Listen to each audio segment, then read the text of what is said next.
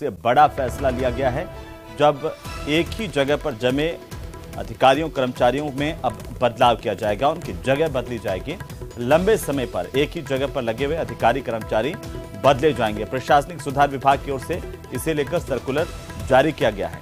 ये बड़ी खबर है। सरकार की ओर से बड़ा फैसला। एक ही जगह पर पोस्टिंग का समय तीन साल से ज़्यादा नहीं होगा। विशेष परिस्थितियों में पाँच साल तक पोस्टेड रह पाएँगे। सरकारी काम में पारदर्शिता को ध्यान में रखते हुए ये बड़ा और महत्वपूर्ण फैसला किया गया है। लंबे समय पर एक ही जगह रहने से विश्वसनीयता पर संदेह होता है। सचिवालय, विभागीय निदेशालयों, आयुक्तालयों और इसके साथ ही अधीनस्थ कार्यालयों में भी यह फैसला तुरंत प्रभाव से लागू होगा। अब एक ही जगह पर जमे कर्मचारी अधिकारियों के तबादले होंगे। पिछले दिनों योजना भवन में दो करोड़ इकतीस लाख का कैश मिला था। और एक किलो गोल्ड मिला था। एसीबी ने डीओआईटी के संयुक्त निदेशक वेद प्रकाश यादव को गिरफ़्तार किया था। ये वेद प्रकाश यादव यहाँ पर डीओआईटी में 15 साल से इसी पद पर जमा हुआ था। और इसी को देखते हुए राज्य सरकार ने यह महत्वपूर्ण फैसला किया है। सबसे बड़ी खबर है इस वक्त की, राज्य सरकार की ओर से ये फैसला किया गया है कि लंबे समय से जो लोग सरकारी अधिकारी, कर्मचारी जमे हुए हैं, उनके तबादले होंगे। ज़्यादा जानकारी के साथ सौरभ गृहस्थी हमारे संवाददाता फ़ोन लाइन पर है। सौरभ बड़ा फैसला है राज्य सरकार का प्रशासनिक सुधार विभाग का। बिल्कुल। देखिए, क्योंकि हाल में योजना भवन का एक मामला सामने आया था, जिसमें कैश और गोल्ड मिले थे, जिस आरोपी को इसमें पकड़ा गया था वेद प्रकाश सोलंकी, जिसके बारे में बताया जाता है वेद प्रकाश यादव जिसके बारे में कहा जाता था कि वो पंद्रह सालों से एक ही जगह पर जो है वो तैनात था, जिसके बाद एक तरह से राज्य सरकार ने एक पॉलिसी जो है वो निर्धारित की है जिसके तहत अब कोई भी कार्मिक तीन साल से ज़्यादा किसी एक पद पर जो है वो नहीं रह सकेगा। इसको लेकर मुख्य सचिव ने एक सर्कुलर जो है वो जारी किया है। तमाम एसीएस प्रमुख सचिव और सचिवों को ये निर्देश दिए कि वो इस आदेश की पालना जो है वो करवाएँ कि इस प्रकार से सौरभ ये जो आदेश है क्या सचिवालय से जयपुर से राजधानी से निकल करके ग्रामीण इलाके तक सभी सरकारी दफ्तरों में लागू होगा?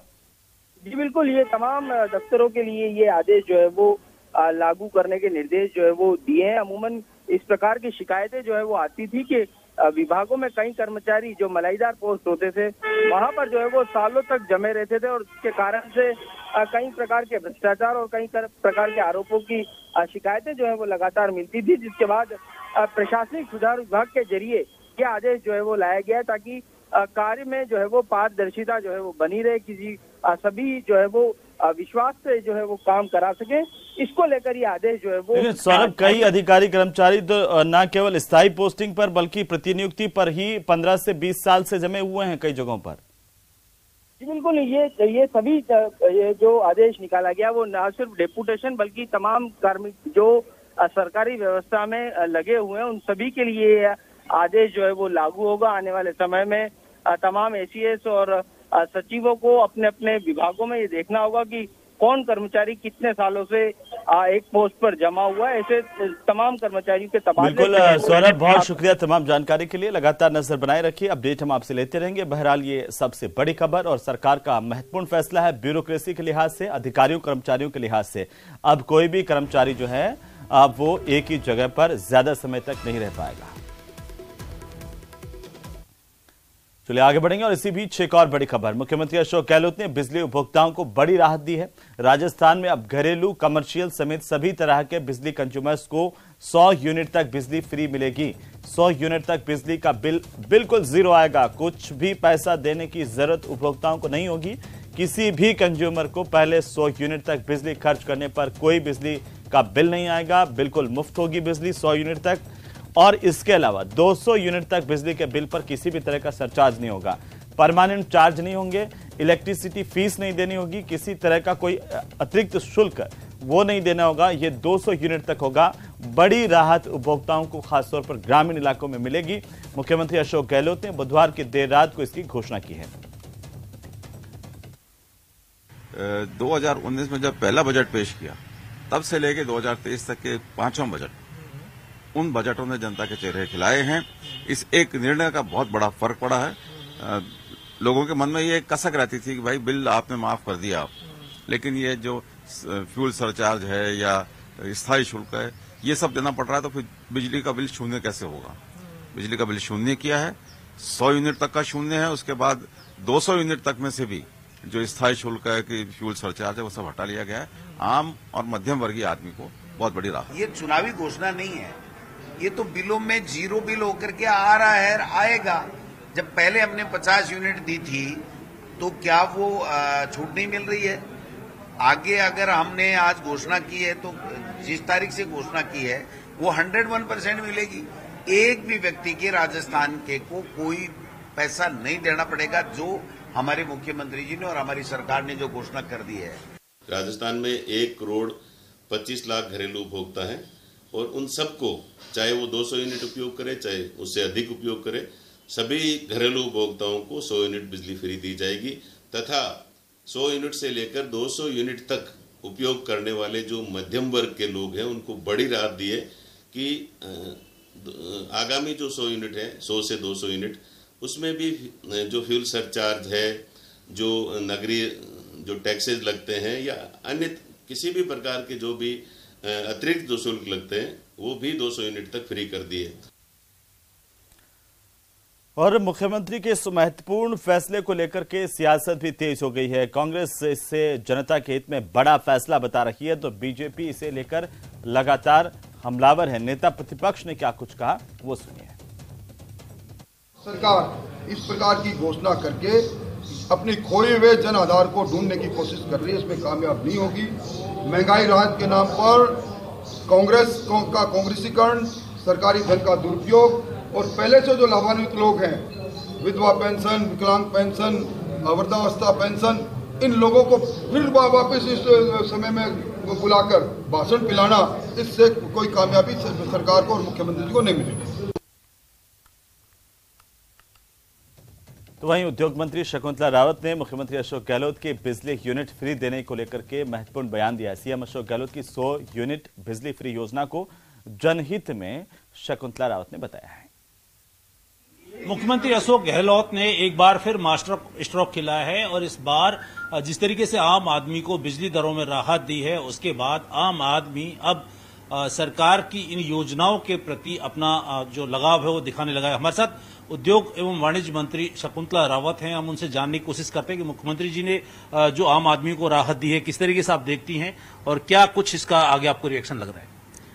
राजस्थान के मुख्यमंत्री अशोक गहलोत जी की एक एक योजना अगर आप उठा करके देखेंगे तो एक ऐतिहासिक योजना है, जो कि अंकित हो गई है इतिहास में। ऐसा किसी ने किया नहीं है और आगे करने की मेरे हिसाब से किसी में हिम्मत भी नहीं है। तो ये जो बिजली वाला जो काम किया है, ये बहुत ही एक अनूठा कदम है राजस्थान के मुख्यमंत्री महोदय का, कि ऐसा करने से राजस्थान का जो हर वर्ग है, कोई भी वर्ग हो, चाहे गाँव हो, ढाणी हो, चाहे कस्बा, राजधानी, चाहे किसी भी लेवल का अधिकारी हो, कर्मचारी हो, और गाँव का किसान हो तो सबसे बड़ा फ़ायदा जो बचत, राहत, बढ़त है तो सबसे बड़ी बचत होगी जो बिजली के बिल से होगी। क्योंकि पहले ही आदमी अपना जो वेतन आता है या कोई भी हिसाब होता है, उसमें हिसाब लगा के रखता है कि इतने का मुझे बिल जमा कराना है। तो उसकी वो टेंशन फ्री कि ये कौन कराएगा बिल जमा? राजस्थान कांग्रेस सरकार कराएगी। माननीय मुख्यमंत्री अशोक गहलोत जी करवा रहे मैं तो यही कह रही हूँ कैसी योजना ला रहे हैं वो। और इतनी सराहनीय है कि हर घर में जब गाँव में जाते हैं तो सब भाइयों ने अपने अलग अलग कनेक्शन करवा लिए, उनके लोड बढ़वा करके अलग से। मैंने कहा, भाई, ये ऐसे कैसे लगा रहे हो? अरे भाई, अशोक गहलोत जी ने योजना ला दी तो हमारे को फ़ायदा मिल गया। हमारा बिल ही को नहीं आ रहा, मैडम। ज़ीरो बिल आ रहे से। तो हम तो फ़ायदा लेंगा ही लेंगा तो ये जो एक योजना लाकर के माननीय मुख्यमंत्री जी की जो दूरदर्शी सोच है, उसको दर्शाता है, और हर व्यक्ति को इससे लाभकारी योजना है, हर वर्ग को फ़ायदा देने वाली। और मेरा मानना है कि हर वर्ग को नहीं, हर घर को टच करने वाली योजना है। तो इससे हर घर टच हुआ है और ये बहुत बड़ी योजना ला करके एक सरकार की जो पूरे प्रदेश में आज देखें, किसी से भी पूछ लो, गली में, मोहल्ले में, चाहे वो दूसरी पार्टी का कार्यकर्ता है, मैंने कहा, भाई, क्या रहा? अरे, मैडम, ये तो बहुत अच्छो काम कर रही है, मुख्यमंत्री। तो ये बहुत एक नया आयाम स्थापित हुआ है। कैमरा पर्सन यासीन के साथ राकेश शर्मा, न्यूज़ एटीन राजस्थान, जयपुर।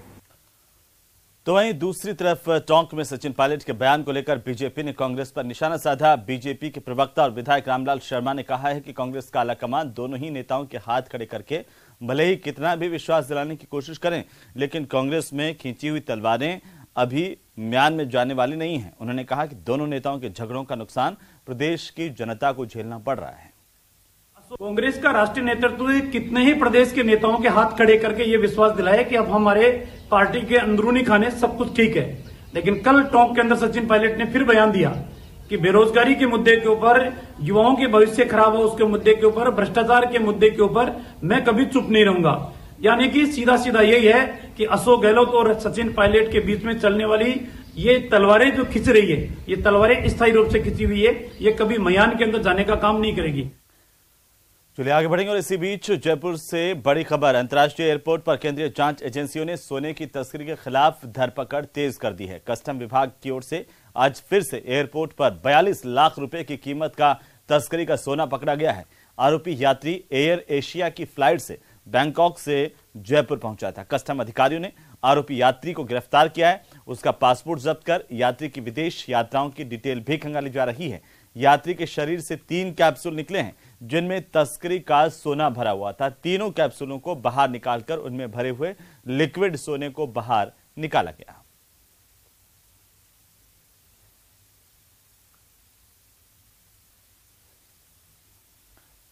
उधर बांसवाड़ा के लोधा गाँव में पिछले तीन दिनों से लगातार बिजली नहीं आने की वजह से गुस्साए गाँव वालों ने बांसवाड़ा डूंगरपुर रोड को जाम कर दिया, जैसे ही ग्रामीणों की ओर से सड़क मार्ग को जाम करने की सूचना राजतालाब थाना पुलिस और एसडीएम प्रकाश चंद्र रेगर को मिली। जाप्ते के साथ वे मौके पर पहुँचे, ग्रामीणों को समझाया। बातचीत के इस दौरान ग्रामीणों ने बिजली विभाग के अधिकारियों के प्रति नाराज़गी जताई, कहा कि वे इस गर्मी में तीन दिन से बिना बिजली के अंधेरे में रह रहे हैं। इसके बावजूद कोई उनकी सुध लेने वाला नहीं। इस मौके पर मौजूद अधिकारियों ने अजमेर विद्युत वितरण निगम के अधिकारियों से फ़ोन पर संपर्क किया। जल्द से जल्द बिजली आपूर्ति शुरू करने के निर्देश दिए और उसके बाद जाम खुलवाया गया। इसकी वजह से मार्ग पर चलने वाले लोगों को परेशानी का सामना करना पड़ा। और वाहनों की भी लंबी कतारें दोनों तरफ़ लग गई प्राकृतिक आपदा की वजह से काफ़ी पोल वगैरह इलेक्ट्रिक के टूट गए थे। इसकी वजह से क्या लाइटें बंद है। दो तीन दिन से और ग्रामीणों में इसका इसको लेकर के दोस्त था जिनको समझाइश की गई अयन साहब से बात की गई तो दो चार घंटे में लाइट बहाली हो जाएगी।